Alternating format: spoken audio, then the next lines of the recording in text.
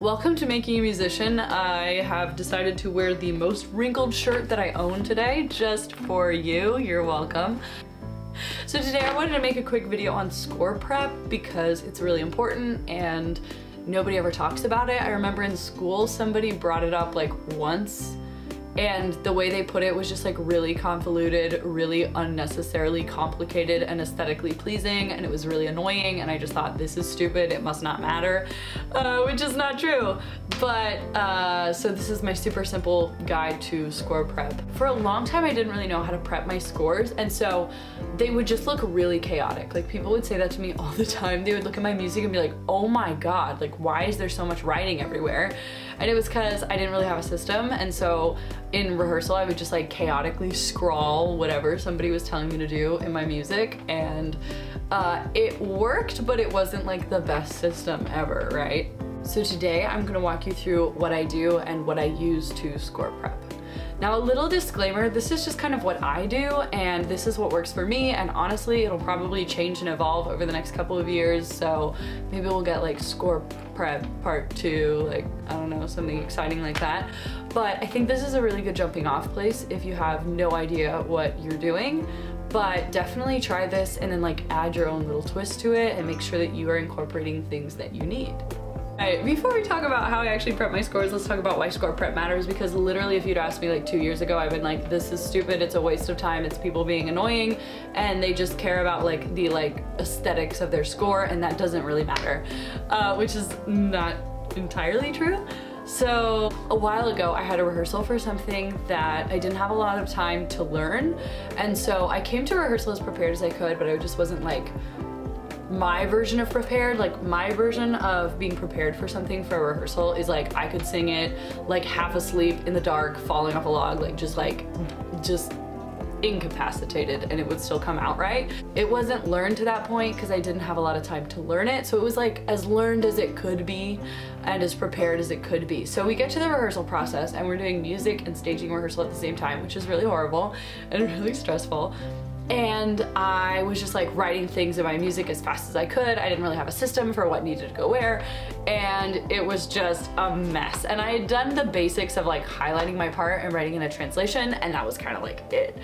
And so then, so basically once I had like notes written in that I had gotten, translations were written in, staging directions were written in, and then like what other characters are doing, like all of that written in. It was just really overwhelming to look at my music.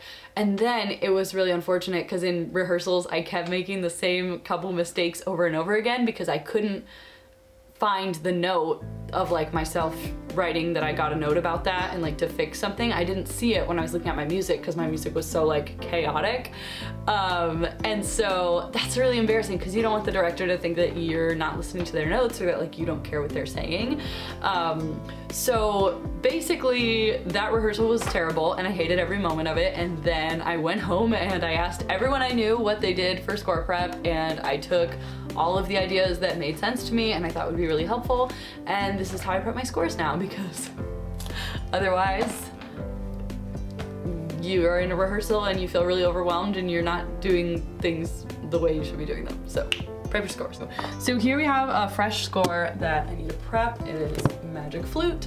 And then we have this. This is like my case of all the things I need to prep a score and this always goes with me when I have rehearsals and I go places because it also has all the things in it that I need to do things like write in stage directions and just notes and anything like that. So let's go in order of uh, what I use and then I'll show you how I use it. So step one is I have these little rulers that I got from Staples. Um, super simple, so I use those to make sure my highlighting is straight because uh, you gotta highlight everything that you sing, all of your text, everything. I used to think this was really dumb because I came from um, being an instrumentalist and I was like, why do you need to highlight your part? And then you realize that like, oh, because your part's not always in the same spot all the time. Um, and so I just really like these because they're light and I've had problems before where I will highlight something in a score and then you can't really read it because the ink is too dark. Um, so these are really great. Also they have like a fine tip uh, so this is nice for things like dynamics, like circling them, I'll show you that later, and also for dialogue underlining and stuff like that. But I love these. Okay, then we have these pens. These are uh, FriXion, they're a pilot. I love these, you can get them on Amazon. Um, they're kind of expensive, but they're really worth it in my opinion because you can erase them, which is like the craziest thing, but like I'm actually serious about that. Like you can actually erase them, they work, it's amazing.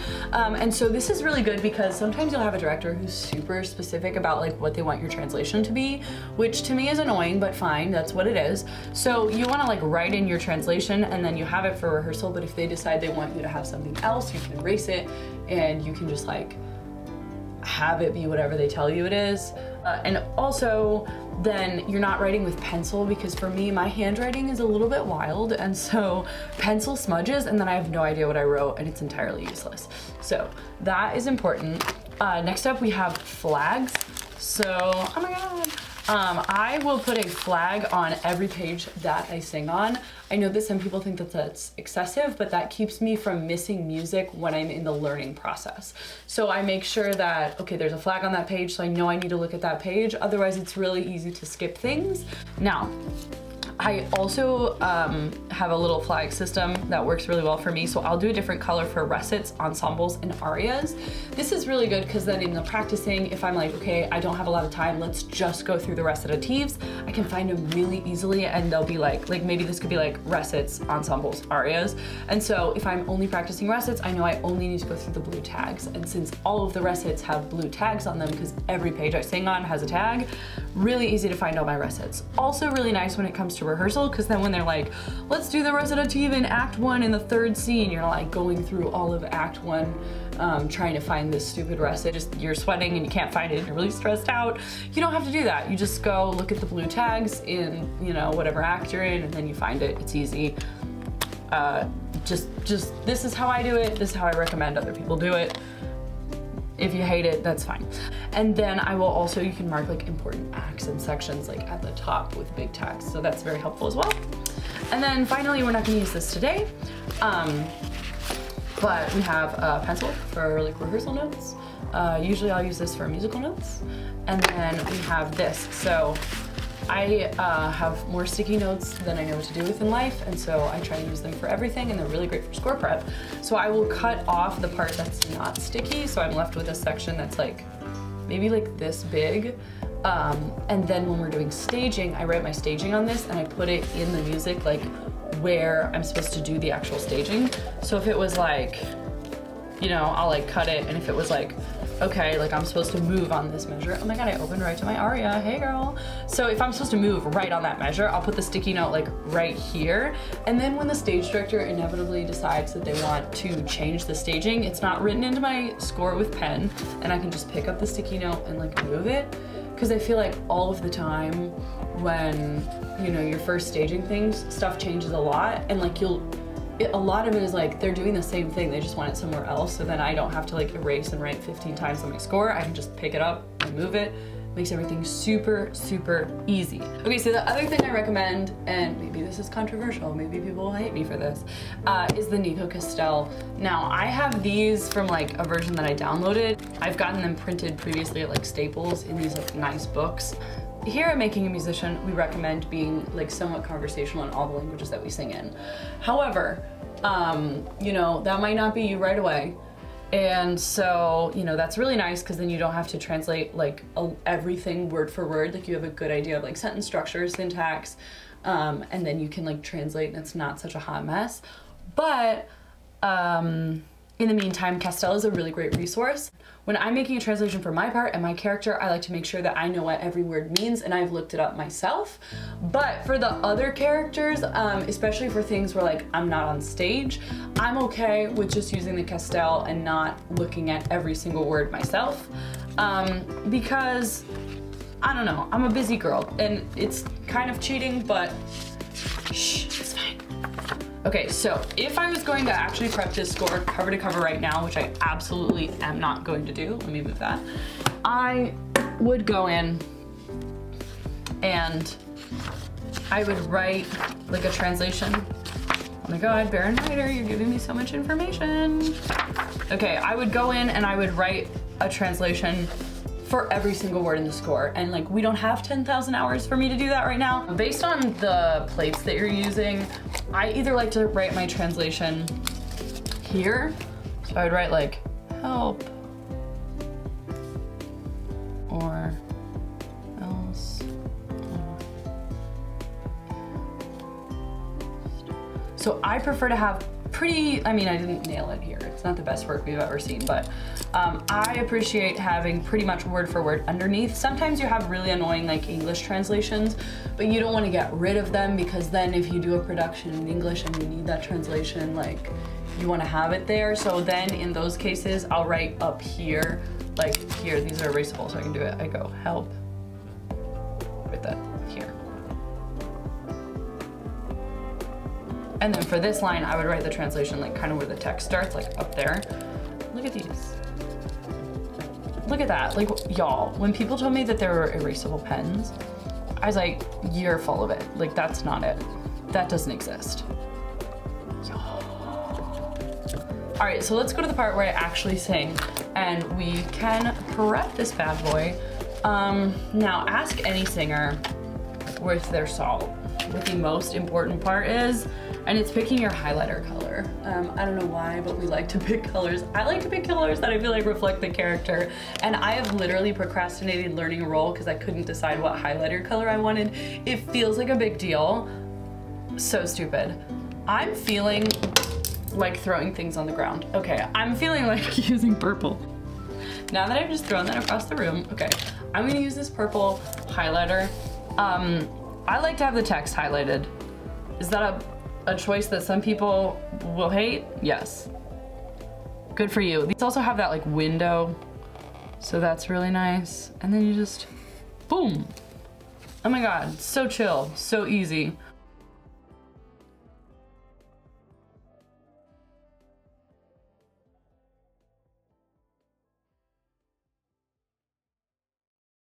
Amazing. Okay, now here's the fun part is that we're not done highlighting yet. So then I will pick a different color. I like the blue. And what we wanna do is we want to uh, look at our dynamic markings and like, like stuff like that. Okay, so I literally like looked it up.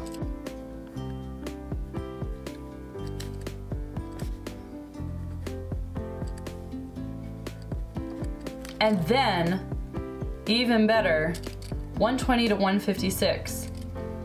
So then I'm gonna put, like, I'm gonna make myself a nice little, like, over here, we'll just do it here. Quarter note equals 120 to 156. And then I know when I'm practicing with my metronome marking, I don't have to look up like, oh my God, what is Allegro maestoso? Like, girl, we know. And the other thing I do is I take, that's why I like that these have like this kind of a point. Here is I circle all my dynamic markings because in uh, Mozart, all of our markings are gonna be in the orchestra. Then we like highlight that. Even though it's not my part, I think it's still really important to be super aware of where the, the music is getting louder, where we have significant dynamic changes. Um, because like, then we see forte, and then we have O zittre nicht is still forte, but then we have here piano. Mein lieber Sohn. And then we continue piano. Like even this sforzando here, like that's not really for me, but I think it's still important that I can see that it's going on. And so I am gonna highlight it because everything in the score Mozart cared enough to put in. And so that means I need to be aware of it and it's gonna shape my interpretation, even if it's not intended for me.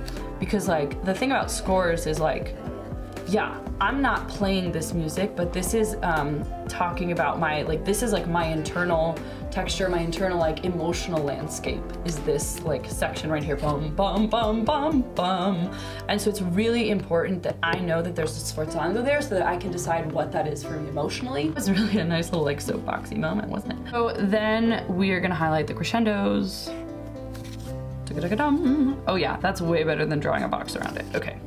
Go me. Let's go ahead and write in our transition. Oh, and I'm checking, look at that, tremble not, my dear son. Okay, I'm writing in a little bit of a weird angle with this camera, so like, bear with me. This is like a very, the thing that's frustrating about German to English is like the syntax is very different, right? So I'm gonna write this in uh, like word for word under the words, Uh, and then I'm gonna write this thing in parentheses over here. So let's, let me do that right now. I'm gonna write the part in parentheses, like up here, also in parentheses. So I'm gonna say, a young man such as you can best console this deeply, the deeply afflicted heart of a mother. Okay, fine. Um, you know what, I'll write it down here because maybe I'll need to put like stage directions up here and I probably won't need to put anything here. So, perfect. So now we see that like I've taken a lot of information on this page and totally broken it up so that it feels a lot more digestible. And then no matter what you're asking me for, I know where to find the information on the page and it's really easy for me to find in the moment. And then I can really like do exactly what someone's asking of me in a rehearsal process because I have all this information already like categorized, coded, I understand everything. Girl. And then I will put this, can you see? Yeah, right on the corner like that and they're all going in the corner. Then I'm gonna flip this over so it's going the right way. Uh, and I'm gonna write do, do, do, do, do, do. Because that is a section that we very likely are gonna wanna take this from. And so I don't have to look through it, I don't have to flip through pages, I know where it is, and then I'm there, not necessarily to read the music, but I'm there and I'm ready to write in notes. So then I'm gonna do this for all the rest of the music that I sing in this opera. Uh, so I will show you when I'm done. Okay, I did it, it's done, the score is prep. Let me just walk you through a couple things. So the arias are marked in blue with tabs at the bottom so I know exactly where they are, translation, you literally saw me do this page, um, everything like that. Something that I do that I think is kind of interesting that I didn't know to do until somebody told me, so now I'll tell you, is, um, okay, so if you look at like this measure right here, you'll see that I highlight all of the articulation markings and I think that that's really beneficial. Actually in this score, I found articulations that I didn't even know were in the score. Um, and I have done this role before and this is music I'm really, really familiar with. So that's always a really great thing to do. So I have this, then I have um, my yellow tab, which is dialogue. So I just highlighted all of the dialogue and then um, we're not actually using this dialogue in the production I'm in, we're using their own version of it, which is pretty standard for this opera. Um, but I prepared it anyways and then I'm not quite sure how I would do a translation for this in the score just because there's not a lot of space. But you know what, we'll burn that bridge when we get to it. Then we have the, you know, the, the aria, also in blue, the second aria, and then in purple, uh, the final ensemble, which, uh, yeah, and then also I translated all of the stage directions and things like that. And then just to wrap it up, at the top, I put three tabs. So we have the overture, the first act and the second act. So that's it. That's how I prep my scores. Thank you so much for following along. If you liked it, feel free to like the video, comment, and subscribe.